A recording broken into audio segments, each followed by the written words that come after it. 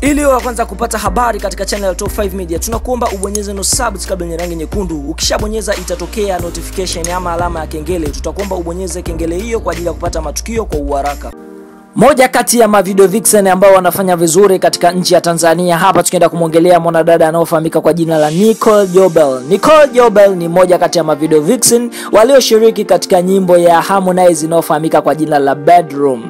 Bedroom bwana, ni mambo fulani hivi ya chumbani yanayotokea kati ya mtu na mpenzi wake. Sasa ifahamike, katika ngoma hiyo Harmonize alimshirikisha mwanadada huyo anaofahamika kwa jina la Nicole Jobel, na walifanya mavitu yao pale wakiwa kitandani nini, mavitu fulani hivi ambayo yalileta ushawishi na kuonekana kama video hiyo haina maadili. Kuna baadhi ya watu walicomment vibaya, lakini ukiacha video hiyo sasa, baada ya video hiyo kumalizika, inasemekana kwamba wawili hao wanatoka kimapenzi, Nicole Jobel pamoja na Harmonize, na inavyosemekana kwamba Harmonize na mpenzi wake Sara wameachana, na tunategemea kwamba kuona Harmonize anaweza ka drop kidogo hivi, kutokana na alikuwa anapata support nyingi kutoka kwa mwanadada anaofahamika kwa jina la Sara. Sara alikuwa ni mke halali wa Harmonize ambapo walifunga ndoa ya kimya kimya, lakini kumezuka situfahamu baada ya kuachana kimya kimya e, na kupelekea mwanadada huyo kumunfollow Harmonize na kwenda ku claim katika vyombo vya habari kwamba Harmonize kamfanyia kitu kibaya, na inavyosemekana kwamba aliwafumania wawili hao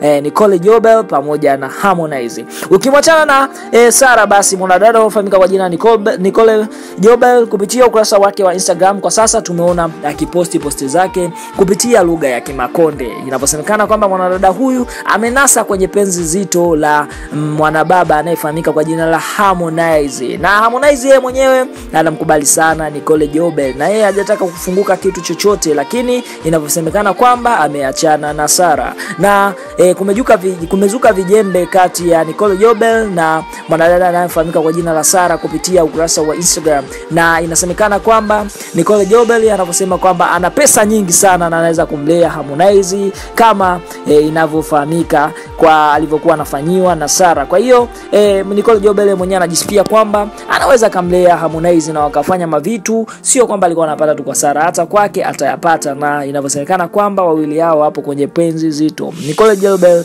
ni mwanadada ambaye anavutia sana, ana bomba la shape, yani kama umebatika kuangalia kile kibao cha Bedroom, ni hakika utamtamani mwanadada huyu kama unapenda type hiyo ya wadada. Ni mmoja kati ya wadada ambao wanafanya vizuri. Tumeona hata akaunti yake ya Instagram inayotumika kwa inayofahamika kwa jina la Nicole Jobel, anatupia picha fulani hivi nasty fulani hivi za matamanio, lakini ndio mambo yalojiri bwana. Tunachokusi tu ni udondoshe maoni yako hapa. Je, Harmonize kuachana na Sara amefanya kitu cha msingi ama amezingua? Kwa sababu ukiangalia Sara ndiye aliyemboost career yake baada ya kutoka pale WCB. Ni mmoja kati ya wadada ambao hawana skendo sana Sara, na alitulia kwa Harmonize. Kwa sasa inavyosemekana wao wameachana na Harmonize yupo kwa Nicole Jobel ambaye e, ukimwangalia mwanadada huyo ni mkubwa kiumbo fulani hivi na ana mshepu. Kwa hiyo Harmonize atauweza ule msambwanda. Tudondoshe maoni yako hapo. Asante kwa kutufuatilia, bye.